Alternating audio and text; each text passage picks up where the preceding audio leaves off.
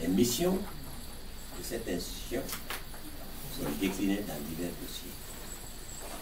Mais c'est une institution qui est l'une des plus importantes du secteur de l'électricité. Parce que c'est une institution qui est dédiée pour rural. Qui sait qu'en Guinée, disons que 70% de la population se trouve dans le rural.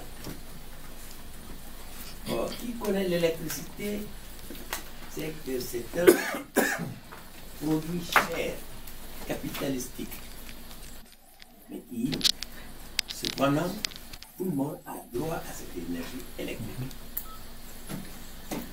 Or, c'est les plus pauvres qui sont dans le secteur rural. Que faire pour les mettre dans les mêmes conditions que ceux qui sont supposés être les plus riches, qui sont dans les villes, qui sont les plus payés Les producteurs sont ailleurs dans le rural. Alors, c'est une agence qui s'occupe de l'alimentation en énergie électrique de ces secteurs. Que faire Quelle technologie mettre en place Quel mécanisme mettre en place pour que ces travailleurs qui font la vie, qui sont le support, les piliers du développement, soient également servis. Alors, c'est une institution autonome. À ce titre, il faut un conseil d'administration. Que faire pour financer cette institution Elle doit être financée de manière intelligente avec des fonds qui ne sont pas chers, qui sont à la portée de tout le monde. D'où la nécessité de mettre en place un conseil d'administration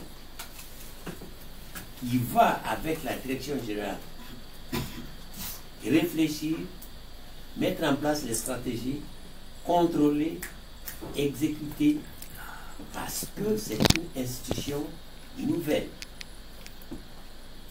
Je suis le ministre de charge, je venais présenter donc ce conseil d'administration aux travailleurs de l'AGR qui ont connu une autre situation à des moments donnés.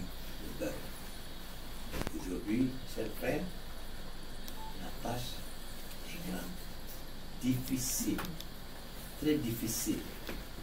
Quand on demande aujourd'hui à un paysan de payer le kilowattheure à un coup donné, il va préférer renoncer au kilowattheure, aller encore sur les braises, brûler le bois, qui, en conséquence, a d'autres effets. Donc, vous comprendrez combien de fois votre tâche est difficile. Pas d'argent, on vous demande beaucoup de choses à faire. Pour ne pas aller au-delà de la mission qui nous a été confiée, celle de venir vous présenter et de vous dire désormais, en application des deux décrets, comme cité par Monsieur le chef de cabinet, le décret 154 et le décret 155 de Monsieur le Président de la République, 54 qui nomme l'ensemble des administrateurs et 55 qui nomme le président du conseil d'administration. Je voudrais faire l'appel pour qu'on sache les, on ait les présences autour de cette table et que les absents excusés soient connus pour nous permettre d'aller à l'installation et désormais laisser la main libre et attendre les rapports, les recommandations, les observations du conseil d'administration dans le cadre de la mise en œuvre des objectifs qui sont confiés à l'AG.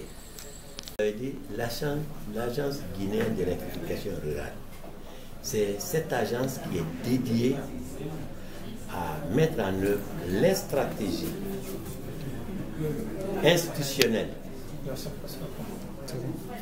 financement, recherche de financement, mise en œuvre de l'ensemble de la technique, de la technologie nécessaire à l'électrification rurale des villages. Qui dit rural, ça c'est hors centre urbain. Donc ils sont chargés de l'électrifier ces centres ruraux.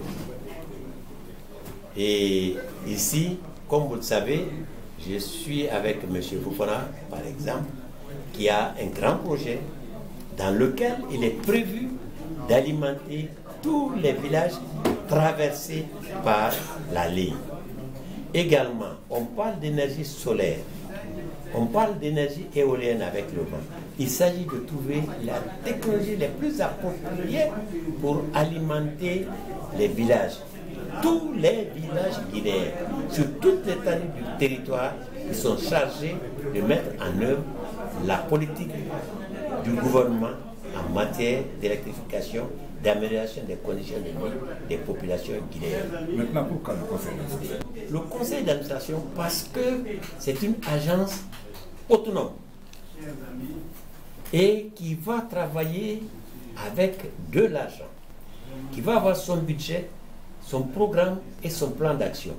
Il faut alors un conseil, un comité qui va surveiller, qui va mettre en, en, en compte, qui va faire les contrôles appropriés, qui va approprier, approuver les budgets, qui va également donner les orientations et approuver les orientations de cette agence.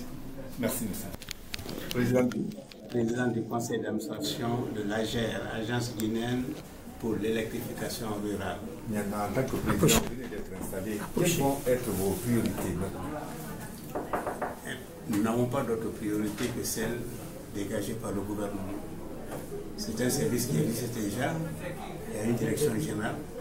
Et notre rôle, c'est d'accompagner la direction générale et faire en sorte que l'orientation stratégique dégagée par le gouvernement puisse être réalisée dans les meilleurs délais et au moindre coût. C'est pourquoi nous allons nous mettre en contact avec la direction générale pour identifier tous les projets et essayer de voir au niveau du conseil d'administration quels sont les, les, conseils éventuels que nous pouvons être amenés à leur donner sur la base des éléments qui vont nous apporter. Merci. Merci.